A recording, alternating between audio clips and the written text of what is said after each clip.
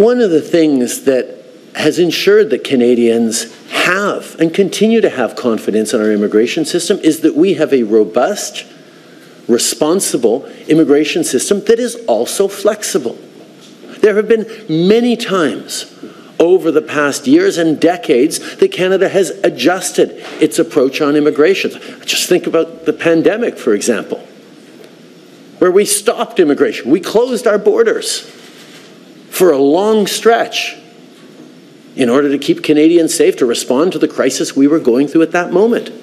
What that meant was once the pandemic uh, closures were done, we had significant labor shortages. We needed to get our economy rolling again. We listened to business, we listened to colleges and universities, and we boosted the number of people coming into this country. That was a response to the COVID slowdown and shutdowns. But now our economy is in a different place. We've seen massive economic and massive population growth over the past years, particularly in the area of temporary workers and temporary residents. And we are now saying, okay, we need to let our communities, our, our, our infrastructures catch up to the population. And that's why we're pausing population growth by reducing immigration numbers for the next two years so we can get back pragmatically to a place where Canada can once again grow the way we all know we're going to need to in the coming decades. But getting things back under, under the, uh, uh, to a responsible level is something that a responsible government does. It's certainly something we did lots of times during COVID when we put forward a measure and realized, okay, a few weeks later, a few months later, we needed to adjust it or end it or shift it. This is still echoes of um, a, a, pandemic that continues to have impacts uh, on what we're doing.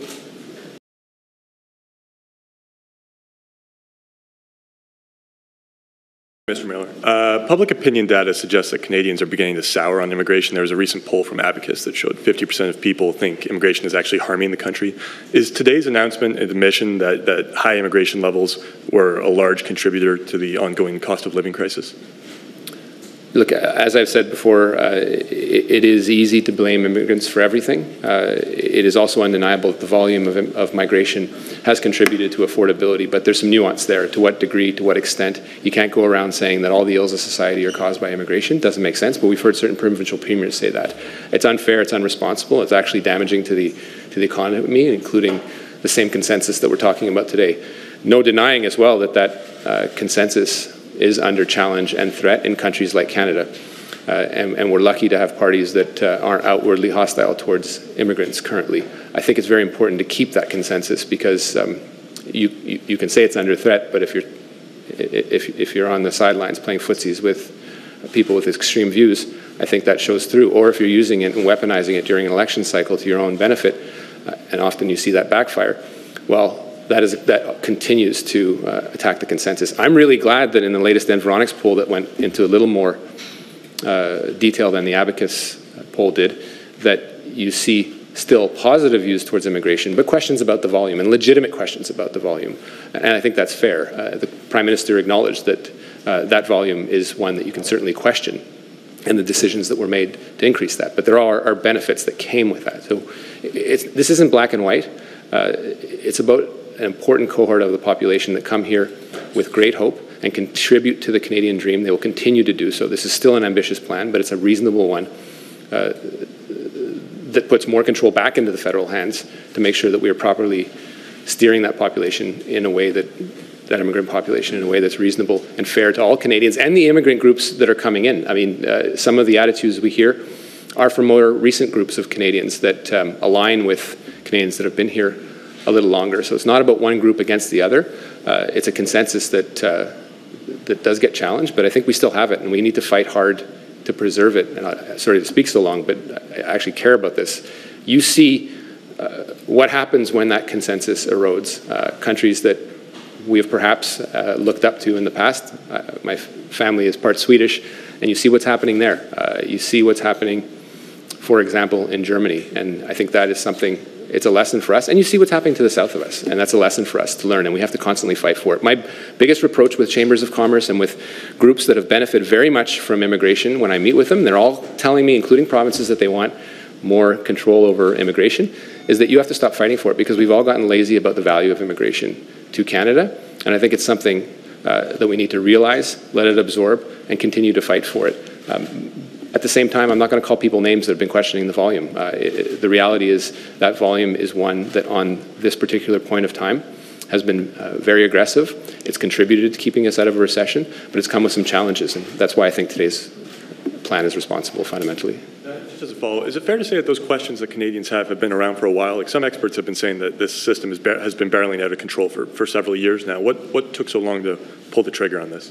You know, look, I think you can certainly have some reflection on, on the timing of this. Uh, we did, and the Prime Minister was quite clear about that, face, let's hope, a once in a lifetime event in, in, in the COVID pandemic with, I think, uh, labor shortages coming out, going into it and coming out and we adjusted. Uh, did we take too long to adjust? I think there's some responsibility there to assume. Uh, it isn't unique. It isn't only, uh, I would say, the federal government that has that responsibility. You, just look at the jurisdiction that provinces fail to exercise when it comes to regulating uh, international students and the institutions that they have clear. They will clamor from the treetops that they have exclusive jurisdiction over education, uh, and the colleges that were failed to be regulated. Auditors General, time after time, said uh, that they needed to adjust. What we failed to do, um, uh, I, what I would say that we did for too long is we trusted them. We trusted them for too long, and now I have to take some very difficult decisions that make me into, uh, you know, a federal education minister and uh, you know, a, an armchair demograph and an economist, and that's not my role. I'm an immigration minister, and the deeper I go into those jurisdictions, um, the fewer tools I actually have, and the more questionable it becomes constitutionally. So this is about assuming responsibility, making sure that provinces step up, and there are plenty of measures in this, in this plan that ensure provinces will step up, not only in making sure they do their jobs with international students, but also with asylum seekers. And we're ready to have that conversation because um, if we fail to be coordinated, Canadians continue to question that, and that continue, contributes to the erosion of the consensus. I, my brain doesn't work that way, like with the language. categories uh, where you're cutting and your obligations. Yeah, yeah, yeah. Look, uh, Rafi, to, to, to Melanie's question is a really important one. Uh, this plan for the next year has an economic envelope that is about at 59%. Uh, the family reunification one is at 24%, and the rest is uh, humanitarian. There have been cuts relatively proportional in, uh, in all areas. Um, what we certainly wanted to do uh, is to make sure that we were respecting our humanitarian commitments. Uh, they are significant. Um, conscious of the fact that we have made a lot of commitments over the last few years, and they are ones that are not only, and I think they're the right ones to do, but they do cost a lot of money because you're taking people from a trauma situation. It costs a tremendous amount of, amount of money to resettle someone.